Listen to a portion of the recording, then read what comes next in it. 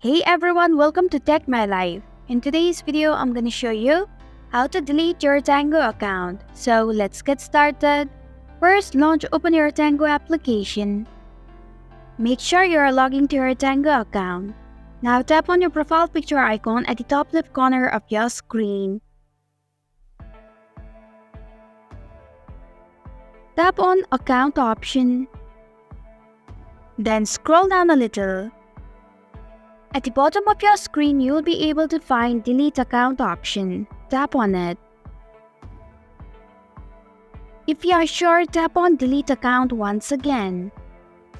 Now choose a reason why you'd like to delete your Tango account.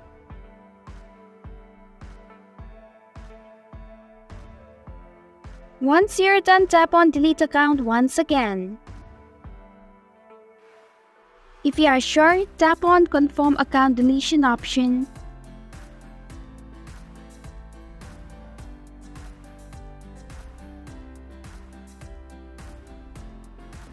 And this is how you can delete your Tango account.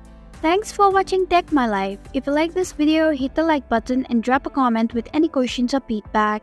If you're new, subscribe and click the bell icon to stay updated on the future videos.